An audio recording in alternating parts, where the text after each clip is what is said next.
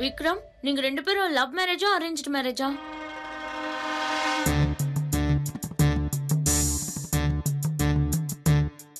இந்தியால இன்னும் அரேஞ்ச் மேரேஜ்ல பண்றாங்கல்ல?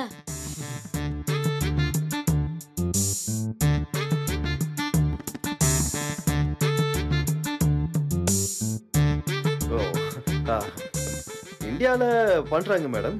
ஆனா இவங்க ரெண்டு பேரும் லவ் தான்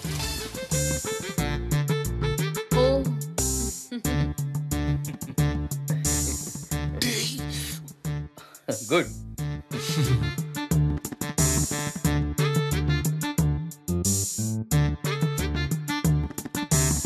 ரெண்டு பேரும் எப்படி ஃபர்ஸ்ட் டைம் மீட் பண்ணீங்க? சொல்லுங்க விக்ரம். ஆ, எல்லாரும் மாதிரியும் தான் சார். பாருங்க அங்கிள் என்ன வசந்த்? பிரசன்டேஷன் அவருக்கு பதிலா நீங்க பண்ணீங்கன்னா இங்கேயுமா? அவரோட லைஃப் பத்தி அவரே சொல்லட்டும். ஓகே லெட் him ஸ்பீக் நீங்க சொல்லுங்க விக்ரம்.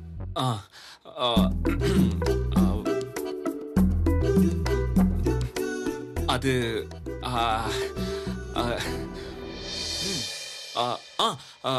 ரெண்டு பேரும் ஆப்போசிட் ஆப்போசிட் ஹவுஸ் சார் அதனால தெரியும் சார்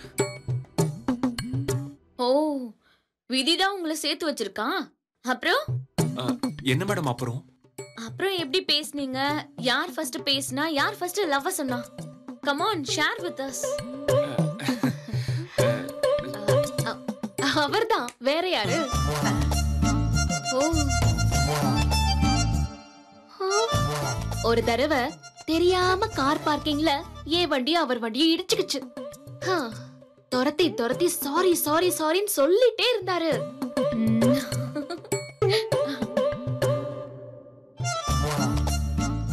இவ்ளோ கைண்டான ஒரு பையனான்னு என்னால நம்பவே முடியல.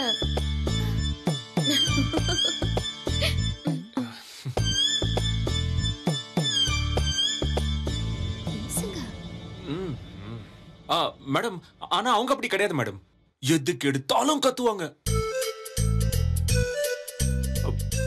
பப்ளிக் பிளேஸ்னு கூட பார்க்க மாட்டாங்க மேடம்.